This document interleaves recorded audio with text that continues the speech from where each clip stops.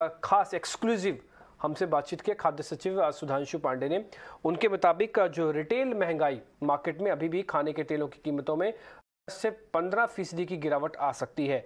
MRP में बदलाव करने का निर्देश भी दिया जाएगा, ये बात उन्होंने कही है। ये बात तब कही है जब पाम ऑयल करीब करीब 40 परसेंट टूटा अपने हाई से। Sudhanshu Pandey secretary department of food and public distribution हमारे साथ है। धन्यवाद हमसे बात करने के लिए।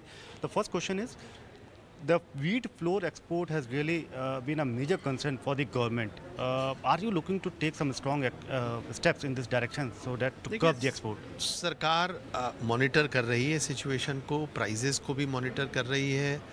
जो इंटर मिनिस्ट्रियल कमेटीज़ हैं वो रेगुलर मिलती रहती हैं। और जब भी उचित कदम जो भी महसूस किया जाएगा सरकार उसके ऊपर फैसला लेगी। Is it a likely you know the direction way the government may think so to curb or to put a sort of an ban on the export of wheat flour particularly because it has there has constant surge in the export of wheat flour after you put a ban on the wheat part ये सरकार monitor करती है इन चीज़ों को prices को भी monitor करती है क्वांटिटीज़ को मॉनिटर करती है और उसके बाद जो भी उचित होगा वो फैसला सरकार लेती है। Can there be a likely review of the decision uh, that was imposed on the uh, ban on the exports of wheat? Currently, is there any thought on the same? नहीं देखिए अभी तो विश्व की जो स्थिति है वो बदली नहीं है। हमारे यहाँ एक ही क्रॉप वीट की होती है। वो आई थी और गवर्नमेंट प्रोक्योरमेंट जो है वो टारगेट्स अचीव नहीं कर पाया था। तो हमारी पहली कोशिश तो ये है कि पब्लिक डिस्ट्रीब्यूशन सिस्टम के लिए जो क्वांटिटी है हमारे पास उसका हम सही इस्तेमाल करें।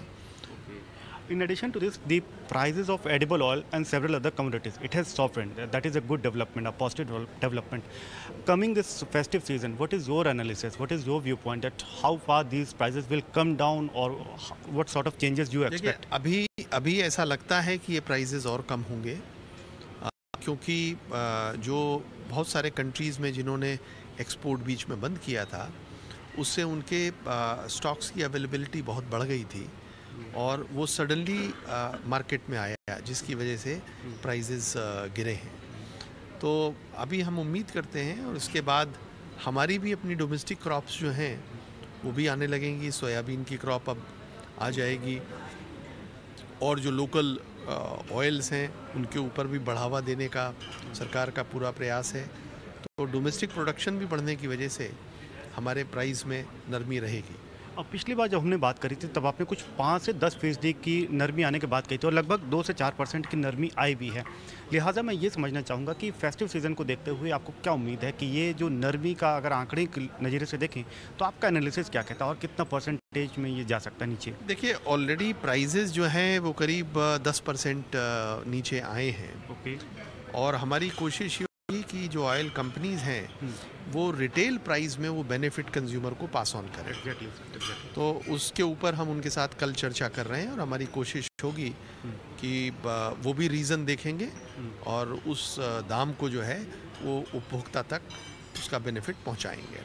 एक आखिरी सवाल पब्लिक डिस्ट्रीब्यूशन सिस्टम में लगातार सुधार की जो बात होती है आप उसमें डिजिटल पेनिट्रेशन करने के भी प्रयास कर रहे हैं। इस सिस्टम को सुधारने की दिशा में और क्या कुछ कदम हो सकते हैं जिस पर सरकार काम कर रही है और उसको किस तरीके से इम्प्लीमेंट करना चाहेगी?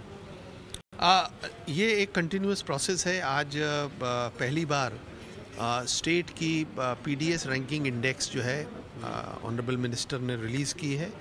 जिससे कि स्टेट्स को मौका मिलेगा अपनी व्यवस्थाओं को अंडरस्टैंड करने का और उसमें क्या सुधार किया जाना है, उसकी उसके ऊपर चर्चा करने का।